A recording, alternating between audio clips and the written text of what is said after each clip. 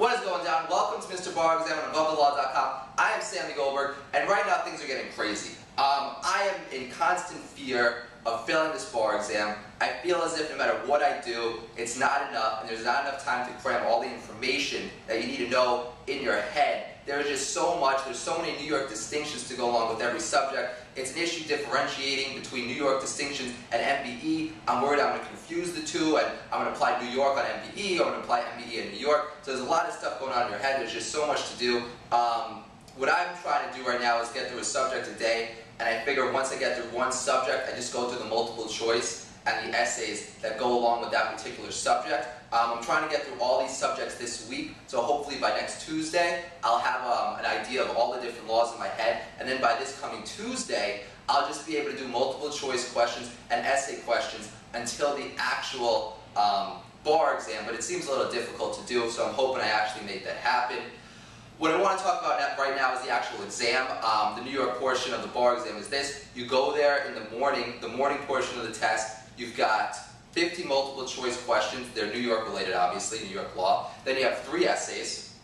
Then you break for lunch. Then you have two essays when you come back from lunch and an MPT. Um, an MPT is different, it's worth 10%, but there's no law involved in it. They give you a case file, and they give you a library that goes along with your case file. And in the library is a bunch of different cases that has law, so you have to take the law out of your library and put it to the facts of your case file. So this is very different. The problem is a lot of people, including myself, are ignoring this part of the MPT because they're so interested in getting information in their head. They were like, you know what, there's no law involved in that. I can just wing that. But I really do think it's important to practice. I'm going to try to practice that as much as possible because it is worth 10% and that can be the one thing that makes or breaks you on the exam.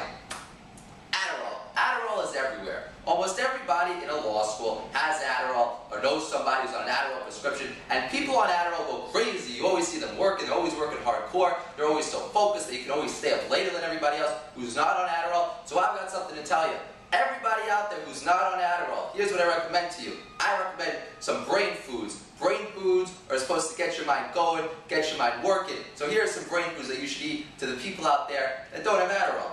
Avocados are a good brain food. Fish and chicken is also a good brain food. And they say blueberries and berries is also good brain food. So you should eat those while you're studying. What I found helpful while I'm studying is this. Instead of starting an outline in the beginning, I'm starting the outline in the middle because I know myself and I know throughout the bar program, I probably read the first part of an outline, then I got tired and skipped the second half. So if you read the second half, at least that'll be framed in your mind, you'll know it, and then you can go back and do the first. On the day of the exam, I recommend that everybody out there, you wear sweatpants because it's going to be cold in there. You want to be comfortable, and now you don't have to sit there in jeans and a belt. This way, it's sweatpants. You're relaxed. You can lean back and do what you got to do. Um, I'm not doing the show until after the bar exam. I'm going to take some time off and just study. But when we come back, it will be the full experience of what it was like to take the bar. I will be telling you about everything. I will be discussing the bar. Um, so we can look forward to that. And everybody out there, I wish you the best of luck on the bar exam. I hope everybody passes, including myself. And you're watching Mr. Bar Exam, but you should be studying for the bar.